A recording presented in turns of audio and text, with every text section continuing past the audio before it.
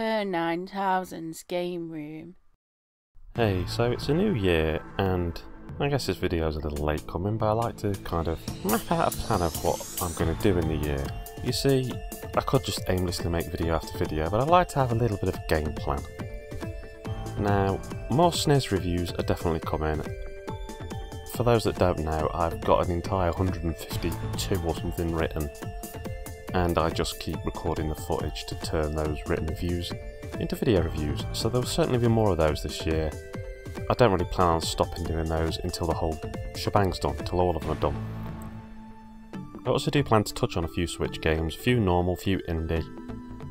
I've already done a preview video for talking about Animal Crossing and the Pokemon DLC Season Pass, so I'm sure I'll hit those topics again because they're two things I'm certainly going to buy. I recently got a Mega Drive Mini, so I would discount a review of that. And I've just done a video which is talking about an arcade game which never reached the home consoles, which is something I'm sure I'll touch on again. I'm sure I'll look at a horror film or two, although I do like to keep this gaming focused.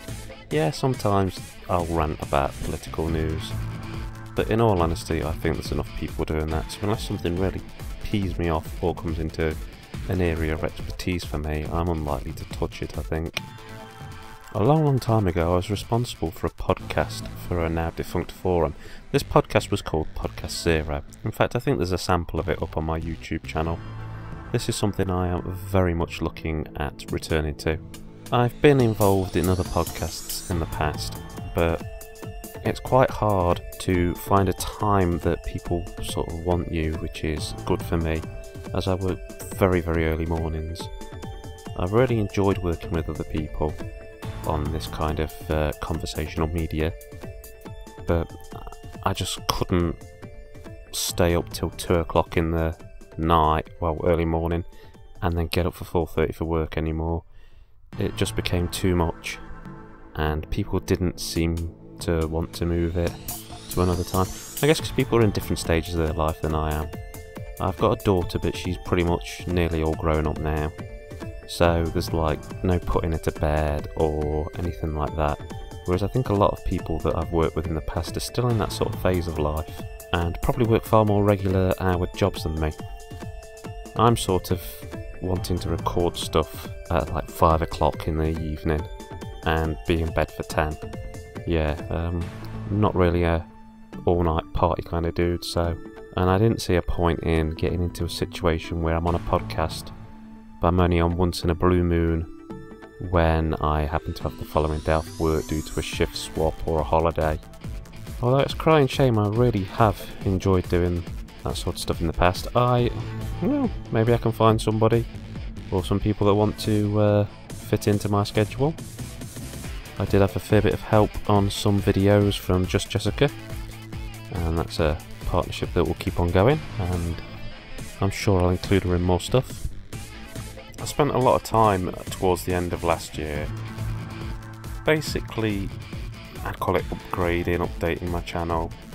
I'd always had this big front music that I'd made with an old version of Music Maker and I was a bit, I don't know if I say proud of it or attached to it. I didn't want to lose it but I do think it was an overly long, annoying piece of music and I'm much happier with my quick start I now have on my videos and yeah, I changed my banners and things.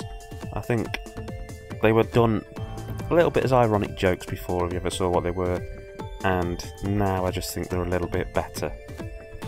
I've seen a lot of people that I used to talk to uh, leave YouTube lately, basically for changes in rules, and also the fact that it seems to be harder and harder to get your content out there if you're a small channel. Seems to be very much the realm of the big boys, and people were getting disheartened that their videos had only got 5 or 10 or 50 views. And I have been asked multiple times, will the change in the way it runs, the added stressors, uh, the lack of views, will it push you out? Well, to be honest, not really. You've probably noticed I'm not doing this as a business. I've never asked for Patreon contributions or really begged for likes. I mean, I might add something like, please like and subscribe at some point, I don't know but I've, it's never been a core focus of mine. I'm not going to be pushed out of this because I'm not looking for massive figures. If five people watch my videos and enjoy them, so what? That's great. Um, you know, I'm not a YouTube personality, and this is not how I define my life. I'm a person who's happy in what I'm doing, and I'm doing this as a hobby. I'm doing it for the love of the game, and I don't particularly see that ever changing. Sure, I might have spurts of more activity or less activity as life demands things from me, but I think I'm going to keep coming back, and I definitely want to have at least like three videos a month on this channel to keep it going.